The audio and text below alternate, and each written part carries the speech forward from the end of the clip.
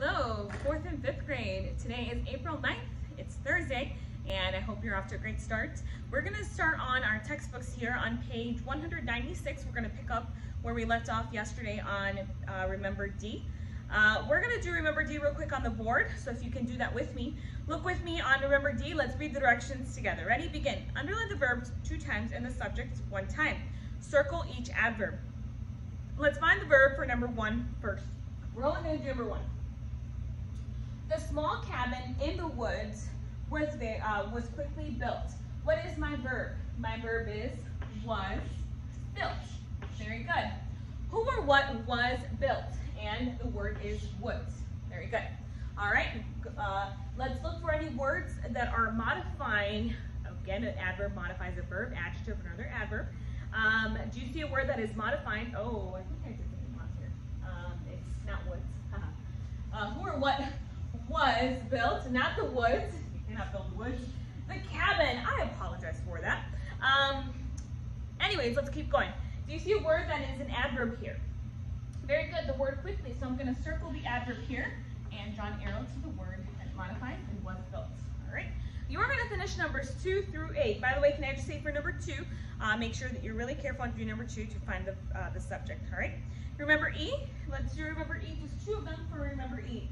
Uh, let's read the directions together. In the blank, label the bold word in the sentence using N for uh, noun, V for verb, PRO for pronoun, ADJ for adjective, or ADV for adverb. Number one, Zacchaeus was a short man. What is short here? Okay, very good. If you're looking at this word and you are saying this word is modifying man. If it modifies man, what is man? Man is a noun. So if a word modifies a noun is what? An adjective. Very good. In the blank, right? ADJ.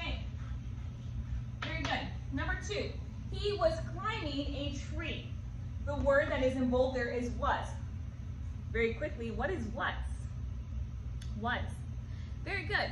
Was is a verb. So put be in the blank. Be in the blank. All right. And that is it for Remember E. You are going to do numbers 3, 4, and 5. Let's go to page 197. We're going to do a new concept here. I'm going to introduce you to a new concept for the day. Um, the first things first, go ahead and go with me to page 197 as we said.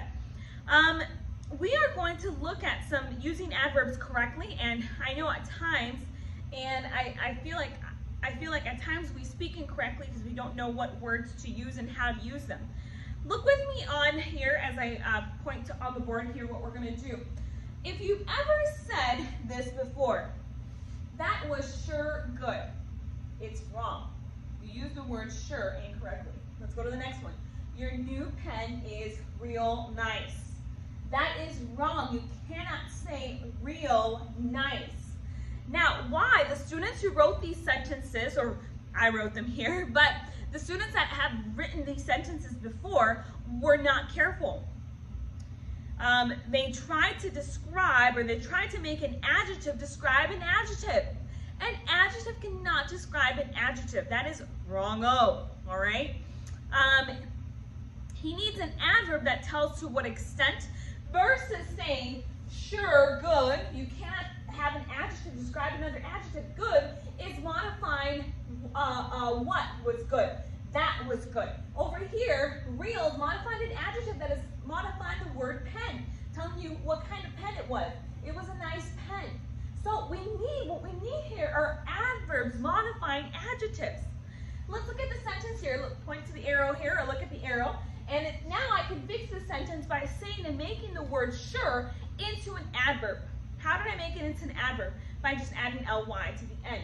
That was surely good. Now this is correct. The next one here. So going from this was the, your pen, uh, your new pen is real nice. I can make this into a correct sentence by adding an adverb again uh, and um, uh, modifying the adjective. Your new pen is really nice. Notice the word really has now changed from real to really by adding ly all right? Um, be careful not to use an adjective when you need an adverb. When you write sentences, be careful not to use an adjective when what you need is an adverb if it's modifying an adjective. Complete this list by filling in any, uh, any missing adjectives or adverbs. I'm gonna start with the first four with you. I have them written on the board, so look with me. Ready? I could say the adjective good, but if I wanted to say and use it as an adverb, I would use it as well. The next one, sure and surely. The adjective is sure, the adverb is surely. Real is the adjective and the adverb is really. Soft is the adjective and the word softly is the adverb. Let's finish here. Uh, the first one that we see there in the next uh, paragraph or in the next section there, the column, is clear. Clear is the adjective and the adverb would be clearly. Sad. Sad would be the adjective and my adverb would be what class? Sadly, right. Slow would be an adjective. What's the uh, missing uh, blank there? Slowly, correct. Neat. Neat would be your adjective and your adverb would be neatly. Simply by adding ly to most of these words except for well, you made them into adverbs. All right, let's look at think B. Think B, and we're gonna finish here for today. Think B, underline the correct adjective or adverb to complete the sentence. Some sentences have more than one answer. Let's look at number one. I've only done two on the board here, but you're gonna underline the correct adjective or adverb to complete the sentence. Some sentences have more than one answer. Number one, do you feel good or well? Which one of the two? Very good. When you are telling how you feel, you must use the word well. Very good. So underline well. Number two, I actually did three, I apologize. The orchestra played real, really good, or well last night.